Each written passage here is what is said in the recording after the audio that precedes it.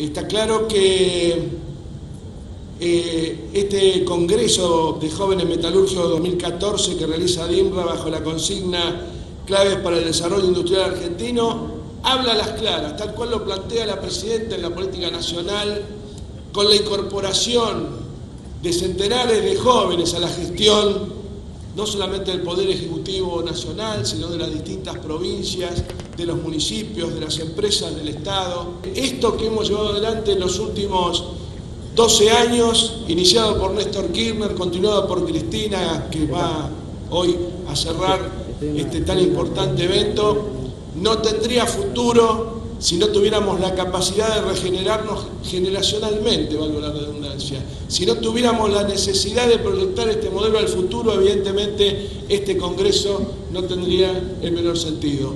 Argentina logró resurgir después del año 2001, de la peor crisis de su historia, o por lo menos de la historia reciente, de la historia moderna, que dejó el 54% de personas en la pobreza y el 25% de desocupados. Esto lo hizo con sus propios recursos, presentándose ante el mundo como un país soberano, al igual que en el caso de la infraestructura. A la industria hubo que reconstruirla porque estaba devastada como consecuencia de la depresión en la que estaba inmersa producto de las políticas neoliberales de los años 90.